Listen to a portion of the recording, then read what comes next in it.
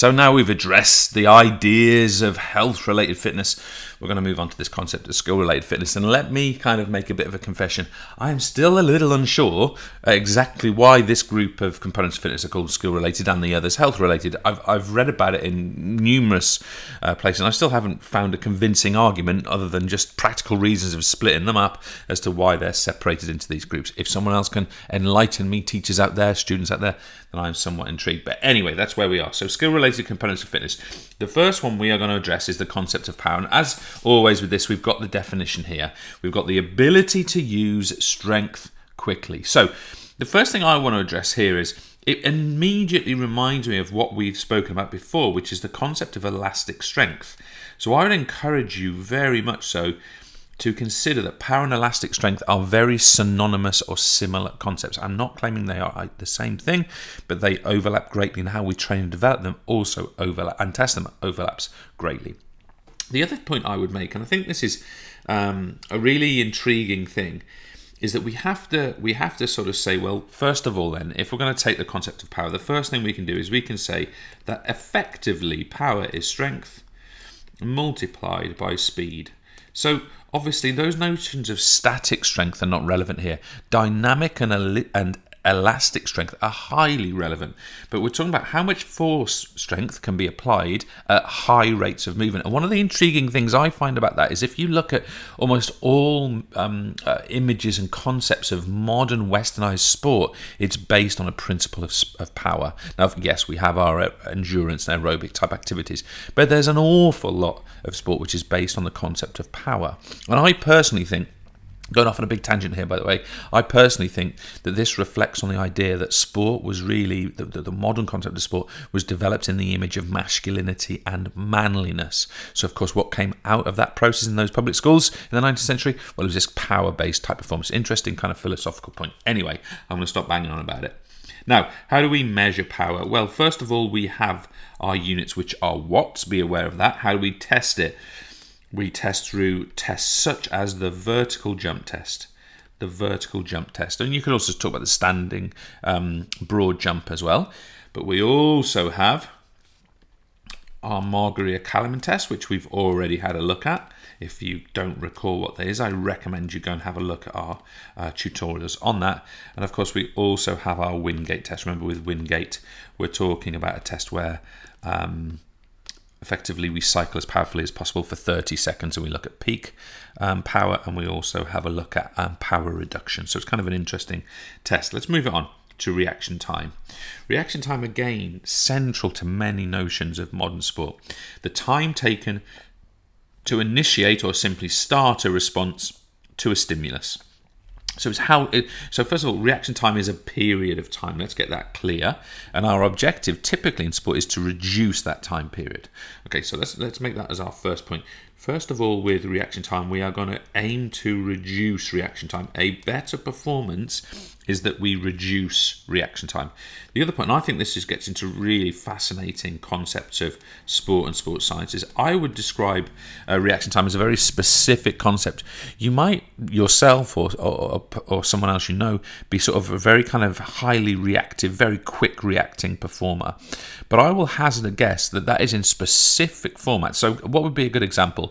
If we take if we were to take um, uh, someone like a table tennis player who might be able to respond very, very quickly and react very quickly to a smash in table tennis, and we put them in front of a very, very, very high quality tennis player serving at them, even though in theory their reactions are very good to a ball coming towards them, they're going to find it very difficult to react in time to that tennis ball because they're not encoded. They don't have the programming to respond to those specific stimuli. Okay, so I'm saying the stimuli are often the specific thing. So it's an interesting point. And the other point is that the stimulus can be visual, or it can be aural. And I would go further and say it can also be kinesthetic as well, or movement based. But anyway, we'll, we'll come back to that in, in future studies. Let's have a look at the concept of agility. Again, central to the effective performance in a whole range of modern sports. Agility, the ability that enables a person to quickly change body position. So, about change of direction, done precisely in a precise manner. So, again, for me, uh, really the definition kind of does it all for us. A couple of things I would reference for you the Illinois agility test. You know, I'm sure you've had a go at this. If you haven't, I'd recommend it to you. There are other agility tests as well, um, but this is one that generally gets used broadly. Illinois, make that a proper I. The Illinois agility test I would recommend um, that you have a look at. And the other point I'd make is that agility is really central to games. Okay, so if you're playing games, any kind of uh, net wall invasion game type activity, agility is absolutely pivotal. And often, what we find is exciting to watch within those sports. Let's take hockey or rugby or football. Is this very high agility level? It's very spectacular. It's very aesthetically pleasing to see rapid dodges, change of direction, power moves, this kind of thing. Coordination, again, you know, an absolutely central concept to effective performance um, of not only fitness but skill, the ability to perform a smooth and accurate motor task, often involving the senses. So I want to take the senses point first of all. Coordination very often, not always, involves a sense of perception or what we might call processing. So, on other parts of PE studies, you might look at basic information processing, for example. Well, of course, coordination or the production of a motor task, simply what we mean a movement by that, involves the processing of information to produce the right movement. So how would we test it? We have this rather, I mean, I've always felt we need a different test for this, but we've got this wall toss test that you can have a go. I'm sure you have already.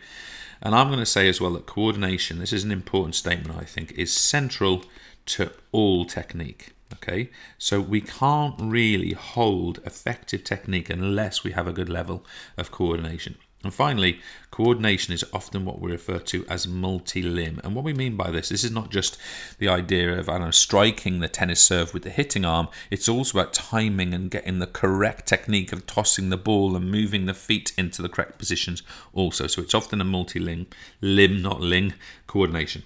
Finally, balance, the ability to retain center of mass over base of support. So when, with your definitions, make sure you can be very specific with those definitions. It's not enough just to go, well, balance, it's like balancing, in it, you know? No, we're talking about center of mass, often for a human being around about the navel being above the base for support. Now, the base of support is a very interesting concept because Often, to be more stable, can we make the base of support bigger? When we look at aesthetic movements like in dance or gymnastic, the, the, impressive stuff is making the base of support smaller or seemingly positioning the center of mass away from the base of support. This is where the kind of the, often the beauty of things comes from. Now, we also we also want to think about this in um, in the concept of kind of how we know whether we're in balance. So it's often based on a principle of awareness. Now, we're going to call this kinesthetic awareness later when we study this. But of course, you know you're in balance because you don't have that kind of wobbling, falling over feeling. And that is based on awareness. You know, wherever you are now, sitting, standing, do you feel balance in your position? If you lean, what you don't fall over, obviously, if you lean over to the right and go right onto the edge of your chair or whatever, can you find a point where you just become unbalanced? And are you aware of that? And that's what we're referring to. Um, secondly, we also have different types of balancing. We have static balancing, which is a balance where you literally hold it, like in gymnastics or something like that. But we also, a bit like our strength, we have the notion of dynamic balance. This is remaining in balance during a movement. So, uh, I don't know, a footballer being really balanced as she dodges around with high agility around her opponent, for example, remaining in that balanced position. And finally, how do we test this? We have what we refer to as the Stork test which we've talked about previously, or we have the beam test. And again, if you haven't looked at those, and we cover those in our tutorials for you, but go and have a look at those and make sure you understand what those are. They're very, very simple testing methodologies, but you just need to be able to um, simply define and describe the, the, the protocols for each. Have a good one.